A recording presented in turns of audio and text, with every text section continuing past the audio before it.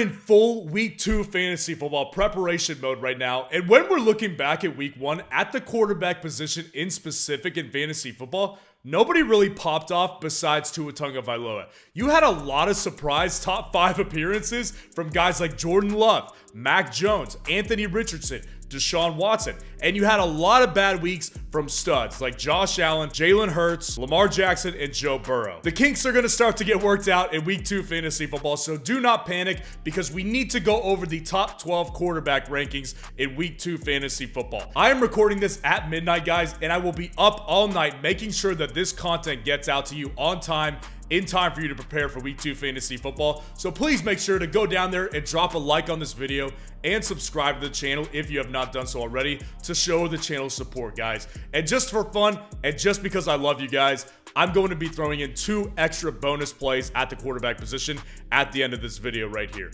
So number one, starting out with tier one, all of these guys are great options this week. I think there's going to be a lot of bounce back weeks. Starting out with a bounce back week from Jalen Hurts, taking on the Minnesota Vikings on Thursday night in Philadelphia. Jalen Hurts, I said it all week leading up to last week.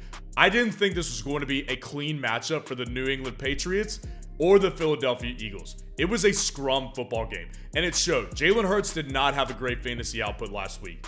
This is a much, much better matchup. Minnesota is awful, awful defending the pass.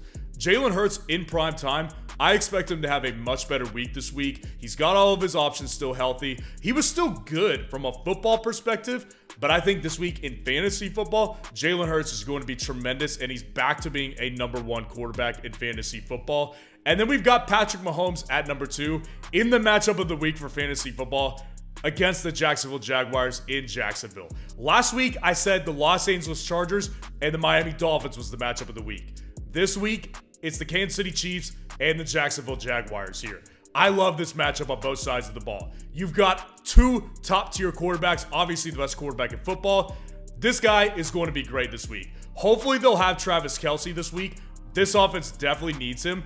But even when they didn't have Travis Kelce, Patrick Mahomes was still a tremendous quarterback. He was just in a situation where the offense was in total disarray. I don't think his wide receivers are going to do that bad in week two. So I do think that Mahomes is going to be a great option here. This is going to be a fireworks matchup. You want in on this matchup here. Trevor Lawrence, same matchup here in number three. Trevor Lawrence is also a tremendous play. All of his options are healthy, and his options are actually better. Aside from Travis Kelce, but who knows if he plays. Calvin Ridley, spectacular. I took my L on him publicly a couple of days ago in a live stream. Calvin Ridley was tremendous, and he will continue to be that. Zay Jones, always a big play threat. Never know when he pops off. Christian Kirk, not good last week in week one, but he is still on a big deal. He will be involved in this offense, and obviously, Evan Engram at the tight end position. And Travis Etienne, by the way. This team is so stacked with weapons here. They've got all the weapons that Trevor Lawrence needs. I think he's going to have a bounce back week in week two. Number four, I've got Justin Herbert taking on the Tennessee Titans in Tennessee this week. Justin Herbert was a little bit disappointing when you added it up last week. I thought he was going to give you like a 30 point game. He didn't do that exactly. His offensive line let him down in key moments in that game against Miami. I don't think it's going to happen again versus Tennessee, though. Tennessee is awful awful defending the pass. I think Justin Herbert and the Chargers are going to absolutely take advantage of that matchup and rebound this week. Justin Herbert, to me, in this type of matchup, is a simple no-brainer here to be in tier one. Now, dropping down to our next tier, we've got Lamar Jackson kicking it off, taking on the Cincinnati Bengals in Cincinnati. Obviously, Lamar Jackson was really bad last week in fantasy football. He threw a pick against the Houston Texans. Lamar Jackson was not very good in fantasy football. Obviously, Houston is not a good team, so people are wondering why this happened. What I've been saying leading up to the season is that I think that Houston is actually going to end up being a really de decently competitive team by like mid to late season. They're obviously run by a defensive coach. Their defense looked really, really good at some points in that week one game until their offense just couldn't keep up and the defense was just tired. Lamar Jackson is going to have a better situation this week against Cincinnati. It's going to be more competitive. He's going to need to throw the ball more. There's going to be more passing opportunities in this game. Lamar Jackson, I think, is going to be fine long term, and I think he bounces back as soon as week two. Dropping down to number six, my guy, Anthony Richardson taking on the Houston Texans in Houston this week. I said it earlier in the week. I mentioned him in my buy low trade targets after week one, before week two. Anthony Richardson was on that video because while it may not sound like a trade low type of deal, this guy I think is going to be a lot better sooner than we thought. Anthony Richardson, his reality is he is dealing with a great offensive minded head coach. Shane Steichen was very, very responsible and had a major hand in Jalen Hurts' development last year. This guy is widely regarded as a great offensive mind across the league. I think it's going to be tremendous for Anthony Richardson, and he was already very, very good last week. When you look at his stat line on the screen, it was a very impressive debut. Easily the best rookie quarterback debut of the week. I think he continues to build off of that, and he's got a much easier matchup this week against the divisional opponent with Houston. I love, love Anthony Richardson, not only this week, but moving forward.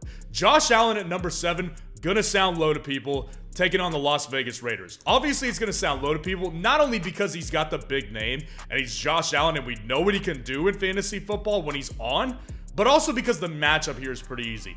I'll tell you this right now. I actually came away a little bit concerned with Josh Allen.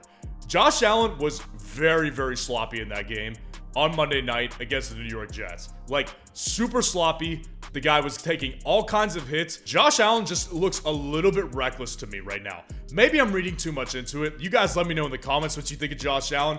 I think he's still going to be a great fantasy player. I don't think he'll have quite as many turnovers against a lesser defense this week. But I am worried about it to the point where I'm dropping him down to number seven when he originally is going to be like a top tier type of guy week to week in fantasy football. Number eight, I've got Tua Tagovailoa taking on the New England Patriots in New England. Obviously, Tua had the boom game last week, quarterback one on the week in that tremendous matchup, threw for over 400 yards. Over 200 of those were to Tyreek Hill. Obviously, he's got the weapons, right? Tua Tagovailoa is never going to be lacking weapons unless one of them gets hurt. This is a much tougher matchup, though. In New England, on the road, this is a much tougher defense than the Chargers are as well. So I think that he comes back down to earth this week. I don't think that Tua is really going to be a bad fantasy option most weeks during 2023. As long as Miami keeps him upright and their offensive line can protect him, I think that Tua is going to be great in fantasy football, but I do think that he comes back down to earth just a little bit against the New England Patriots this week. Number nine, I've got Justin Fields taking on the Tampa Bay Buccaneers in Tampa Bay this week. Obviously, Justin Fields was the big disappointment. He was one of my top five most drafted players in fantasy football this year, so I felt that one in particular. I won most of my fantasy leagues this week, but that still definitely put a cap on my team's upside in fantasy football this past week. I think he's going to be fine. I just think that he needs to find his groove. And I think that when this team looks back to the offense and what they did in week one, they'll realize that they didn't target a guy like DJ Moore enough. I think DJ Moore gets it going in week two, and I think it's going to help out Justin Fields a lot, just opening up the offense as a whole.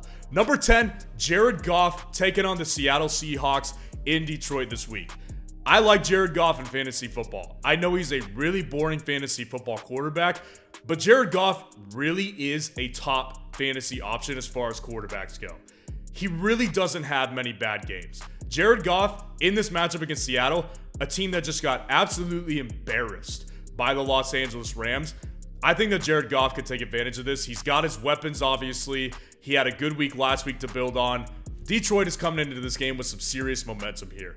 Joe Burrow at number 11 taking on the Baltimore Ravens in Cincinnati this week. Obviously, Joe Burrow was the big zero of the week at quarterback, right? Out of any top tier quarterback option in fantasy football, Joe Burrow sucked the most, easily. Worse than Lamar Jackson, worse than Josh Allen. Joe Burrow was in, he was honestly embarrassing. Didn't even throw for 100 yards in that game. This is par for the course for Joe Burrow here. And that's the reality. Last three years, he has dealt with the same exact issue of not being available leading up to the regular season start. 2021, dealing with the recovered torn ACL. 2022, appendicitis knocked him out for a long time. And obviously, the calf injury knocked him out. So, the past three seasons, he's had little to no offseason prep leading into the early month of the season here. Joe Burrow's gonna be fine. He's gonna be he's gonna rebound this week in a much tougher matchup, obviously, in another divisional matchup, obviously, but they're going to be so much more competitive this week because they're at home and they were just embarrassed in that week one matchup. I've got Deshaun Watson at number 12, rounding it out, taking on the Pittsburgh Steelers in Pittsburgh on Monday night. Deshaun Watson, I think that the thing about him is that I can't rank him much higher than this because when I think back to Deshaun Watson in his heyday with Houston, I don't see that special quality with him anymore. I don't I don't see that fire there. Like I don't see the spark. I just don't think he's the same player. And I think that it's going to be very matchup dependent for Deshaun Watson moving forward. The good thing is the matchup here is very good. Pittsburgh's defense is not nearly as good as a lot of people were thinking, and I called that out in my top 12 defense rankings in all the way back to July. I was saying that Steelers were not a top 12 defense, and I caught a lot of flack for it. Caught up to them against the San Francisco 49ers. I think that Deshaun Watson this week is going to be fine just because of matchup alone. And my two bonus guys on this list, Daniel Jones, Dak Prescott. Daniel Jones taking on the Cardinals in Arizona. Dak Prescott taking on the Jets at home. Daniel Jones, obviously, he was the other big zero out of a lot of quarterbacks this week. Daniel Jones and the entire just Giants team was just embarrassed in week one versus the Dallas Cowboys. Total embarrassment at home. So it's hard to it's hard to rank a guy like that coming off that bad of a week. I've said it with Saquon Barkley though earlier today. The matchup here is just so good. It's so good against Arizona, possibly the worst team in the NFL. He's going to be fine. He's going to have a bounce back week this week. And then Dak Prescott, obviously, much tougher matchup. Taking on the Jets defense, who just really embarrassed Josh Allen a little bit on Monday night. Dak Prescott, to me, it's going to be very matchup based. He's really in that middle tier of fantasy quarterbacks this week. I think he's just a decent bonus option. So let me know what you think of the rankings in the comments below and what questions you need answered for week two fantasy football. And I will go down there and answer every single question that I possibly can in the comments below. And if you want to see the top 30 running back rankings for week two fantasy football, click on this video right here.